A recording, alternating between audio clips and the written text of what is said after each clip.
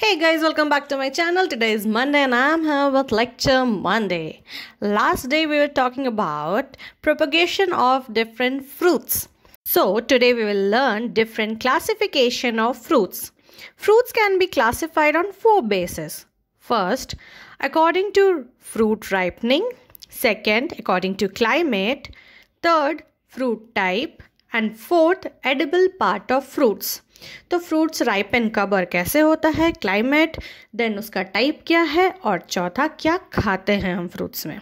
So going with the first one fruit ripening इसमें दो types के होते हैं क्लाइमेट्रिक एंड नॉन क्लाइमेट्रिक अब क्लाइमेट्रिक और नॉन क्लाइमेट्रिक होता क्या है? Climatic fruits are those that can ripe after harvesting or picking from plants. Means हम लोग पेड़ से तोड़ ले और उसको ऐसे बास्केट में रखे, घर में रखे तो वो राइप कर सकता है। तो कौन से फ्रूट्स ऐसे होते हैं? मैंगो विनो हम कच्चा भी तोड़ के रखते हैं और वो पकता है। फिर खाते हैं टेस्टी टेस्टी इसका सीज़न आने वाला है, आ गया है। Mango sapota papaya fig peach banana guava apple plum pear okay mango sapota we can relate papaya भी वी नो हम लोग खाते रहते हैं. फिग देन पी से देखिए. Peach then plum then pear apple guava banana these are the common ones ना non climacteric मतलब जो पेड़ पे रहेगा, उतना ही टाइम तक पकेगा. उसे हम हार्वेस्ट कर ले तो उसके बाद वो फर्दर पकेगा नहीं. They won't get ripen any more so what are the fruits example citrus pineapple litchi grape pomegranate and bear. Citrus, pineapple, lychee, grape, pomegranate and bear. Now, according to climate, we know three, tropical, temperate and subtropical. So tropical में क्या आ गया mango papaya cashew banana pineapple and coconut temperate apple strawberry almond strawberry strawberry, strawberry, apple and almond. AASS. Now subtropical. Subtropical में phalsa litchi bael citrus guava fig aonla ber grape date palm and pomegranate so these were according to climate now according to fruit type now fruit type में 13 types का होता है we can have berry drupe or stone balusta amphicerca pepo pome hesperidium cyconus sorosis nut schizocarp capsule और lomentum now berry type क्या क्या हो सकता है? Banana grape date palm papaya areca nut guava areca nut grape के साथ date पे गया बनाना गुआवा खाने के लिए पपाया ट्री के नीचे.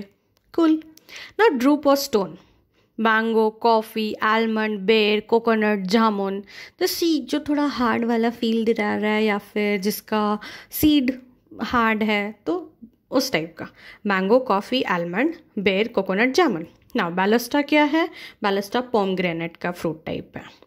देन एम्फीसर का bael pepo watermelon pepo for all cucurbits then pome for apple pome देख के पोम ग्रेनेटिक नहीं करने का pomegranate balausta pome is for apple hesperidium for citrus syconus for fig sorosis for pineapple mulberry jackfruit apple was for pome pomegranate balusta and pineapple sorosis now nut for lychee and cashew cashew nut से nut याद रहेगा but lychee भी nut है now schizocarp schizocarp carrot capsule okra and onla and lamentum for tamarind now according to edible parts अब हम किसका क्या खाते हैं बेर का pericarp papaya mango mesocarp mango का मिजोकाप वीनो, क्योंकि ऊपर का छिलका हम हटा देते हैं, अंदर का भी हम नहीं खाते, बीच का पार्ट खाते हैं तो मिजोकाप।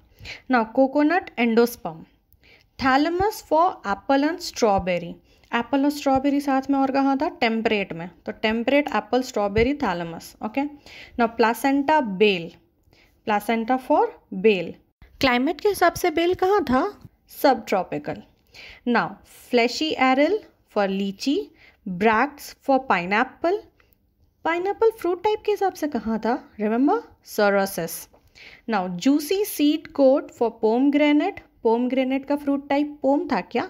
No it's balausta good next is juicy placental hairs अब जूसी प्लासेंटल हेयर्स किसका खाते हैं? सिट्रस का. नींबू का यू रिमेंबर प्लासेंटल हेयर्स अंदर का हम लोग प्लासेंटा खाते हैं.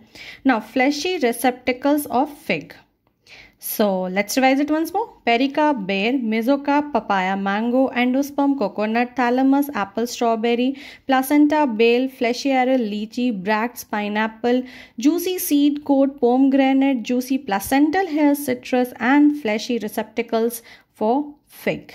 So that's all.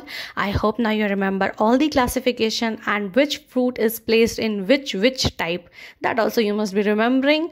So like the video if you like it. Do share it and never forget to subscribe my channel. I'll again come up till that. Take care. Bye bye.